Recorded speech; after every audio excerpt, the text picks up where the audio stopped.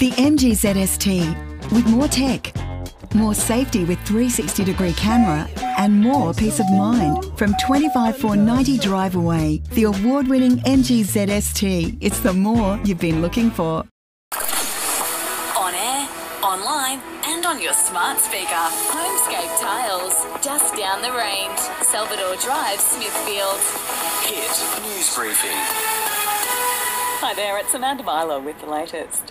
New Zealand Labor MP Chris Hipkins will replace Jacinda Ardern as Prime Minister, as he is the only nominee for the party's leadership.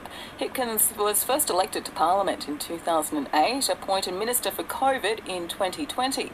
Massey University's Associate Professor Grant Duncan says it comes as no surprise. He was the first sort of go-to name, I think, that many people, including myself, thought of uh, after Jacinda Ardern made her announcement about her resignation. Wholesale electricity costs have fallen since the price cap was brought in last month.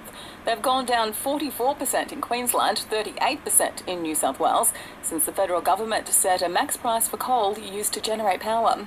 While it's welcome news, users aren't likely to feel the relief until next year.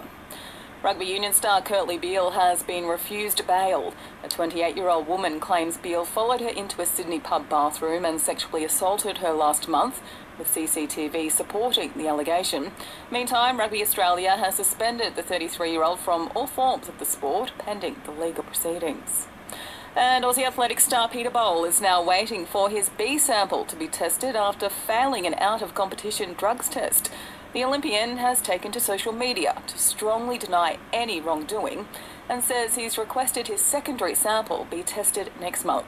Athletics Australia has provisionally suspended Bol after a banned substance was detected in his A sample. Get in early for the Williams Back to School sale. Get 20% off big brands like Colorado, Clarks, and Harrison for big savings and a massive range of school shoes. Walk this way to Williams. Plenty of stars are out on court on day six of the Australian Open, including our last two local hopes in the singles, Alex de Minaur and Alexei Popyrin, who are both fighting for a spot in the fourth round.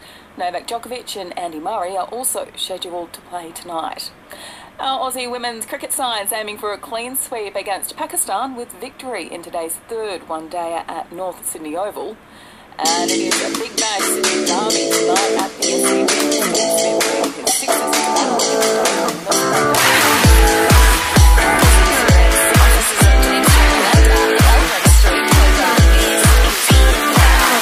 Partly cloudy and 31 degrees in Mareeba today. Overnight temperatures falling between 19 and 23 degrees tonight.